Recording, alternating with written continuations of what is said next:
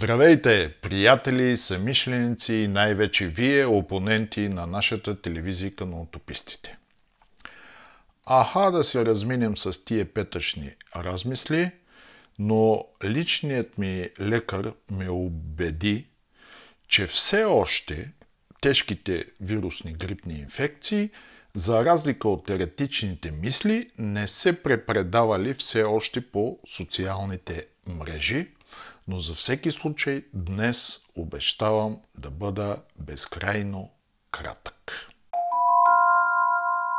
Обещах в вчерашният анонс за тази вечершното ни предаване, че няма да се занимаваме с една тема, но развилата си дискусия под анонса и това, което с нощи наблюдавах в Народният театър на тържествена церемония, която по-скоро приличаше на Брехтова, а не на Шекспирова пиеса, ме наведе на някои размисли. И то по темата превърнала се в последно време и доста банализирана от българските медии по обективни за тях причини, мантра, която през следващите 6 месеца ще преследва явно целият български политически дискурс.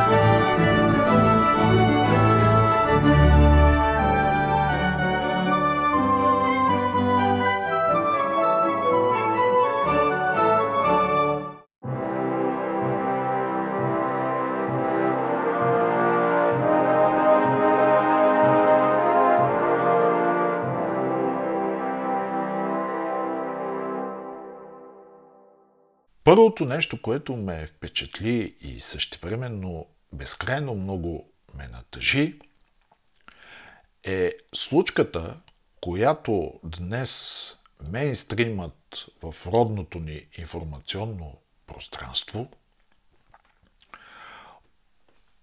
окачествява като че ли по време на пиеската в Българския национален театър, според известната театрална методика на Станиславски, извинявам се, че споменавам руски авторитет, е гръмнала като че ли пушката в края на пиесата.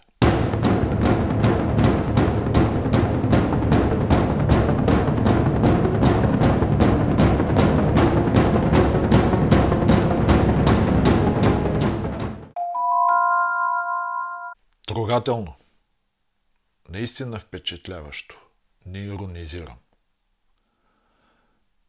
В една държава, в която родните и политици окончателно са доказали, че са забравили думата Отечество и почти е сигурно, че никога не се употребявали извън пределите на своята родина, камо ли из брюкселските офиси, да пристигне един от най-рафинираните европейски бюрократи, да стъпи на сцената на националния театър на тази държава, от която думата Отечество е звучала в почти всяка българска пиеса и да им я припомни на българските си колеги, тая вълшебна думичка Отечество. Имам професионалният навик, когато гледам театър, мюзикъл, кино, да се опитвам да улавям детайлите в поведението и изражението на всички участници в сцената. Така долу-горе отгатвам режисьорският замисъл и целта е ефекта, който искат да постигнат постановчиците. След като Доналд Тукс започна да цитира Вазов, забелязах някакво странно възбуждение в поведението на председателката на нашето Народно събрание, уважаемата госпожа Каратанчева.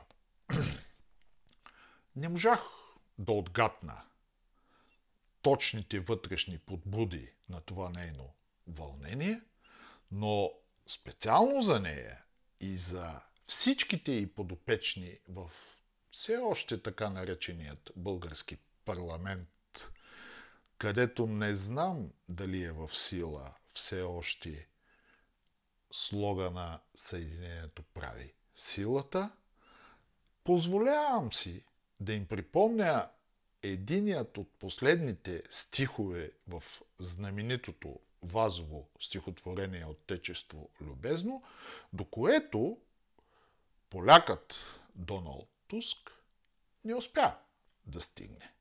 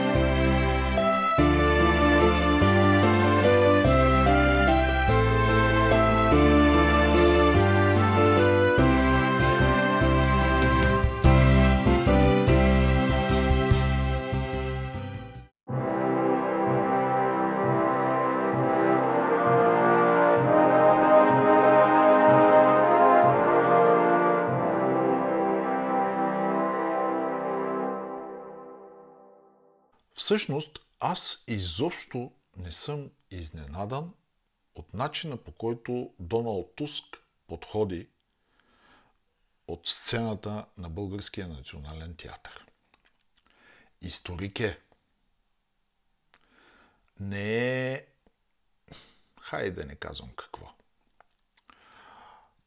Между другото, един от най-големите изследователи на ролята и значението на ордена на тевтонците, едно знаменито рицарско съсловие, изиграло съществена роля в формирането на онази ехе старата Европа, която може би вече губим окончателно. Те принципно поляците са си малко странни при избирането на ръководители на своята държава. За поляците е болезнено усещането за отечество и родина. Например, след като 125 години са заличени от картата на Европа, окупирани от Русия, Австрия и Прусия, след като 18-та година, 1918 година, възстановяват своята национална независимост, вземат, че си избират за министър-председател някакъв си композитор, а, Ян Падеревски, композитор, за министър-председател. Само моля това да не стига до ушите на нашия български премьер, защото с нощи забелязах, че нещо не му беше на кеф от всичко това, което се случва на сцената на нашият национален театър. Най-малкото пък да му говорят за отечество и родина. Между другото, забелязах още едно неприятно изживяване в спектакъла на нашият премиер Слънце. Слънце в смисъл на това, че той е държавата, родината, отечеството, Балканите, Европата, светът въобще и най-вече Слънцето, което ни огрява с девиза Държавата, това съм аз. Странна беше гримасата на нашият премиер Слънце, когато председателят на Европейския парламент, когато по никакъв начин не се отнасям към председателката на българския парламент, Антонио Таяни, за когото сме си говорили, мисля, че преди известно време, спомена, разказа на публиката, че е останал много впечатлен от срещата си с българските студенти в родната ни Алма Матер. А, както е известно, а, нашият премьер Слънце се притеснява от такива срещи на високопоставени европейци с българската студентска мисъл. Но не мога. Не мога да се въздържа да не споделя с вас и едно удовлетворение, което изпитах вчера по време на спектакъла в Националния театър. Една естетическа визуална наслада, която да си признае честно осмисли вечерта ми. Става дума за следното. Нямате си на представа какво удоволствие да видиш натикано в най-отдалеченото ъгълче някъде по висините на балконите